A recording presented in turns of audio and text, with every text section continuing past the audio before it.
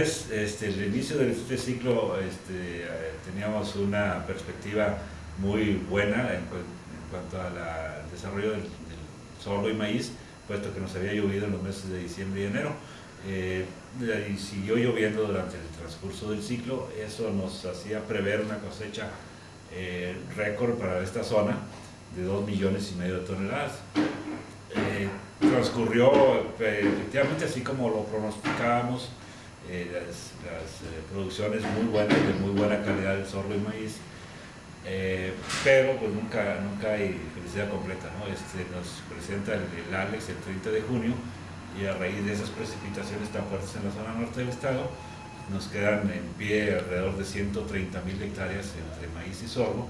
Eso provoca que, que esas precipitaciones provocaron unas inundaciones tremendas y eh, las precipitaciones del que fue Boni el 8 de julio ya nos vino a ser una perspectiva mucho muy diferente a la que traíamos 15 días antes. En cuanto a que todos los eh, sorgo y maíz que se quedó en pie, pues ya tenía una pérdida importante en la calidad de, grano eh, que, tenían las panojas. Y bueno, la, perspectiva de pérdida que traíamos en ese momento en la zona rebasaba los 300 millones de pesos que bueno, los fondos de aseguramiento y Agroacemex, junto con el gobierno del Estado, pues eh, empezamos rápido las evaluaciones, de tal suerte que hoy en la fecha eh, ya tenemos este, un 70% de avance en todas las evaluaciones, que ya se está procediendo a, liquidar los siniestros en toda la, zona norte del Estado.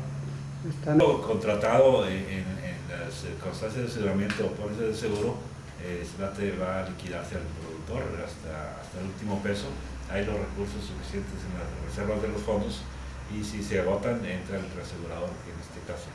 Sí, este ciclo nos deja muchas, muchas lecturas ¿no? de, este, como productores en cuanto a, a, lo que se refiere al clima, pues la fertilización que dimos eh, nos daba la perspectiva de muy buenas producciones, pero también este, en lo negativo que fue el, el Alex, a muchos productores que no tenían seguro, pues estaban viendo cómo eh, se les iba toda su, su, esperanza de tener una cosecha abundante y buena en unas pocas horas.